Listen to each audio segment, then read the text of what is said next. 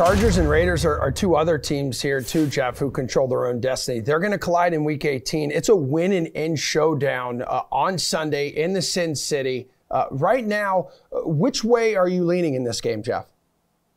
I, just take the the plus money with the Raiders. Um, I, I, just take the team that's that's being undervalued at home here. I, look, I, I mean, I do think the Chargers are probably the slightly better team, but I don't think that they're the better team over Vegas by three points on the road to be favored by three points on the road. I think that's just an overreaction. Uh, I think Derek Carr is a competent quarterback, and we've seen the Chargers. I mean, you know, they gave up 190 yards to, to Travis Kelce.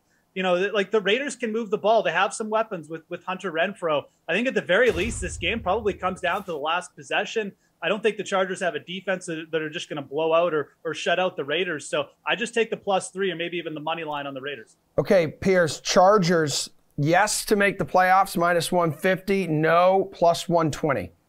Oh, I would take yes. I'd go even higher. I would see what, what are the odds for them to win the AFC, maybe even win the Super Bowl. I'm not a big Chargers fan. I've said plenty of times that they're fraudulent, but they have the weapons. If they could just piece everything together, they are a team that could get hot offensively and really do some damage throughout the playoffs. They have the weapons, the all the receivers, the running backs, they have the quarterback. The defensive scheme sometimes blows up in their face by giving up too many rushing yards, but it is a bend but don't break defense. So that can work. We saw them go to Cincinnati, take advantage of some turnovers and win some big games.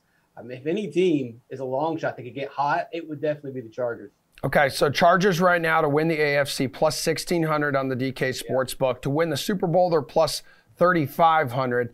Uh, Maddie, to make playoffs, let's look at the Steelers side here. No minus 125, yes plus 105.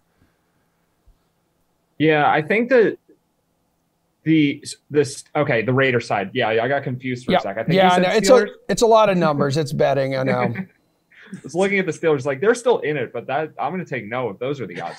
Um, yeah, I, I think that both of these guys have alluded to kind of what I'm thinking, where the Raiders and the Chargers are just both really, really inconsistent. And I have no idea what, like, I could see either team winning by three touchdowns in this game, even though it's supposed to be this game where it's close and it's for the playoffs and everything's on the line and it's going to be a good football game, right? Like, how many times have we expected a good game where just one team doesn't show up? Um, but I also think, yeah, like the Chargers could make a run to the Super Bowl because they just have so much talent. They're just really bad at utilizing their talent, it seems, at least this year, and their defense is really bad most of the time.